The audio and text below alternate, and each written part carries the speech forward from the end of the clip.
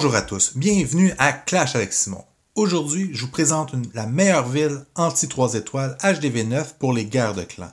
Cette ville, cette ville résiste vraiment bien et vous allez voir, l'autre clan va être obligé d'amener des HDV10 pour vous détruire car elle est vraiment très forte. Donc, dans un premier temps, je vais vous présenter la construction de la ville et ensuite, je vais vous montrer quelques défenses de la ville. Vous allez voir, c'est vraiment une ville du tonnerre qui résiste toutes les attaques de HDV9 contre HDV9.